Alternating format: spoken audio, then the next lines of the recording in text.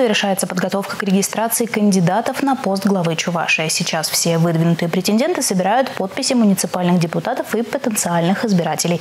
Предоставить их в Центральную избирательную комиссию кандидаты должны до конца рабочего дня 24 июля. Сегодня в Народный штаб Олега Николаева привезли подписные листы со всей республики.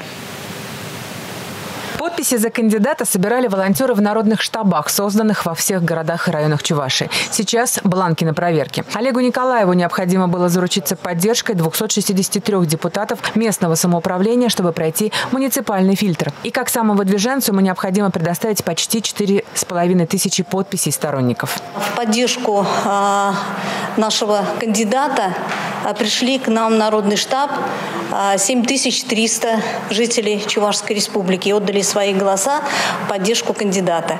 И еще 1100 человек а, через онлайн проголосовало тоже в поддержку а, Олега Алексеевича.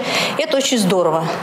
Народный штаб продолжит свою работу. Здесь можно получить полную информацию о кандидате и о его программе, о последних событиях в ходе избирательной кампании. Заработал и сайт сторонников заниколаева.ру. Там опубликованы все адреса народных штабов по всей Чувашии, где можно задать вопрос кандидату, оставить свое мнение или пожелание. До 24 июля пройти муниципальный фильтр и собрать подписи сторонников должны еще 11 кандидатов. Напомним, что на пост главы Чувашии намерены баллотироваться от КПРФ Александр Андреев, от ЛДПР ЛДПР Константин Степанов. Партия «Патриоты России» выдвинула Сергея Матвеева. Пенсионеров России представляет Николай Степанов. Самовыдвиженцами идут на выборы адвокат Николай Коклейкин, предприниматель Андрей Ильдименов, блогеры Юрий Шакеев и Максим Чепель, безработный Роман Васильев и Петр Петрянкин и журналист Юрий Сидоров. Кто из них будет зарегистрирован в качестве кандидатов и продолжит предвыборную гонку, станет известно через 10 дней после подачи ими документов на регистрацию в Центр избирком Чуваши. Татьяна Молокова, Павел Иритков,